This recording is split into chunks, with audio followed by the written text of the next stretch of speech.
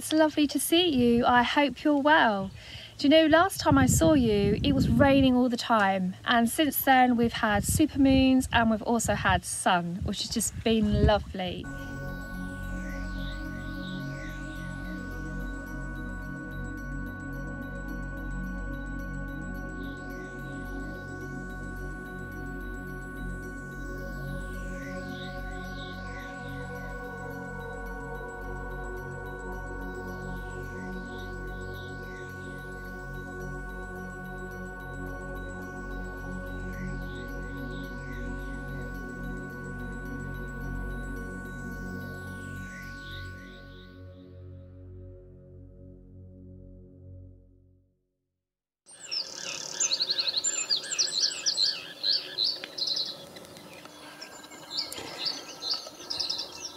Now you'll notice in that last clip that I showed you that narrowboat Alice Grace was in the marina called the Fish and Duck Marina. If you notice the sounds, we've got Tern who are just going over and also Lapwing who are fighting against the crows because the crows keep stealing their eggs. So I might show you a bit of that later. So yes, because we put our narrowboat in a marina for a week last week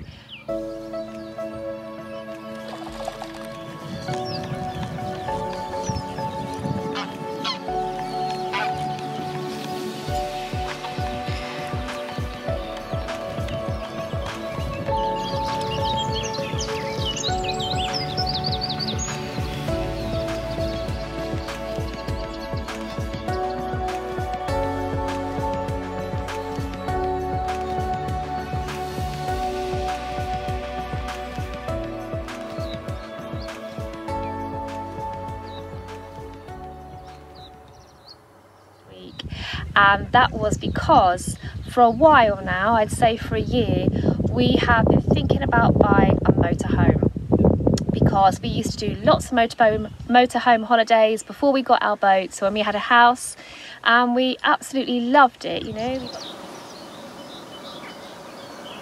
um, the best way to do this is to have a look at hiring a motorhome, which is what we did. But first of all, we had to make sure it was the layout that we would choose if we were going to buy a motorhome.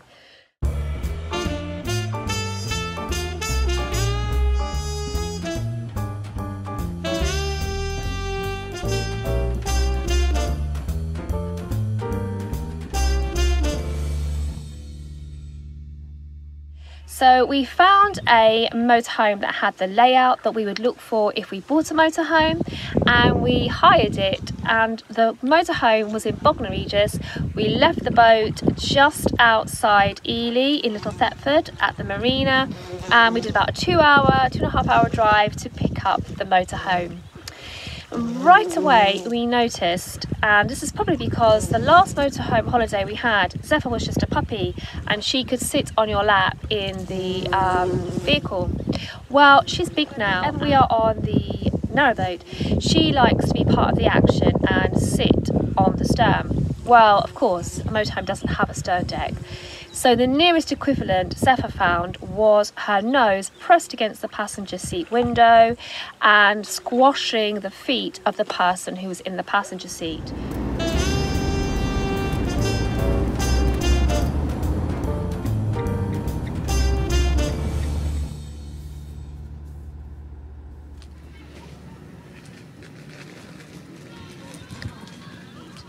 We wanted her to sit under the dinette area, um, but she was having none of that.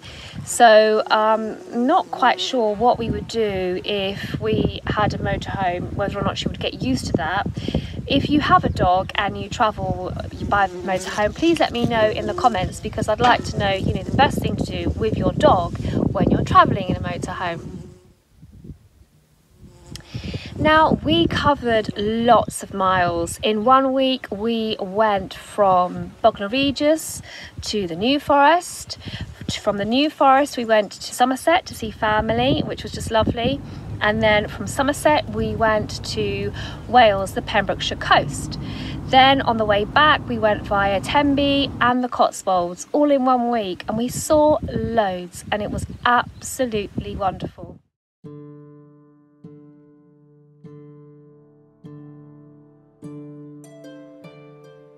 Pembrokeshire coast was made a national park in 1952.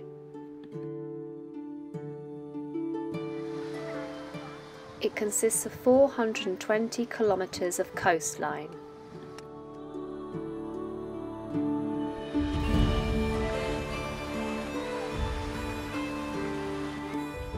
and is home to an abundance of wildlife.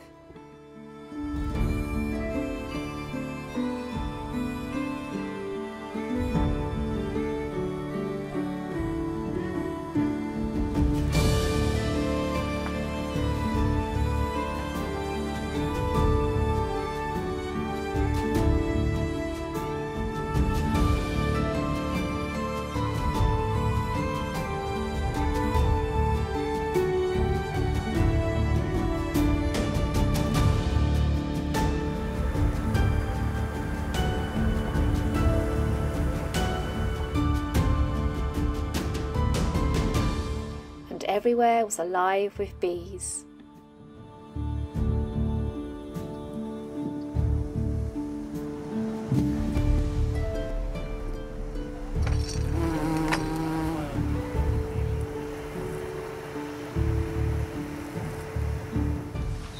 Pembrokeshire is the home to the smallest city in Britain, named after the saint which rests there, St David.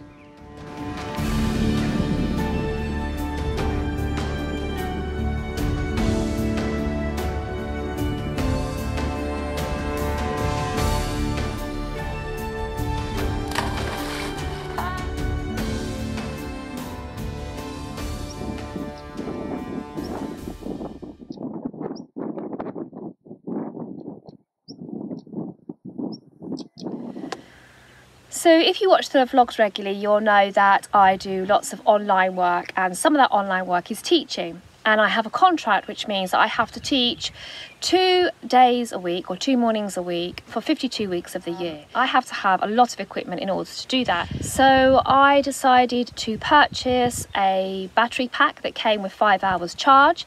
And I also had a little Wi-Fi box with me when we were on the motorhome. However, both times that I logged in to teach my classes, the internet crashed. I just don't know why that was, and I never have that trouble on the boat. So it's something that I would need to consider because at the moment I'm going to need to be teaching. So we then arrived back at the marina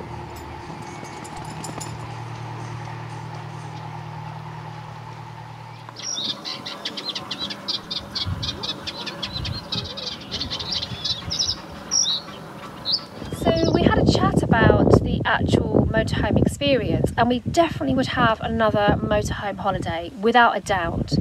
However, if we bought one, then we've got the issue of where we're going to park it, which I hadn't even thought about, and also maintain it, make sure it's roadworthy, and what are we going to do with it whilst we are on our narrowboat? How are we going to make sure it's secure and safe?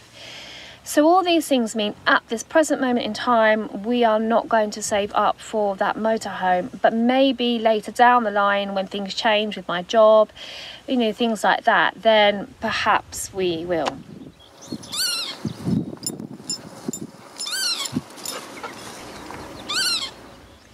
So now it's time for you to sit back, relax, which I'm doing today and enjoy a mindful cruise. And it's leaving the Fish and Duck Marina and heading towards Ely because our toilet needs to be pumped out.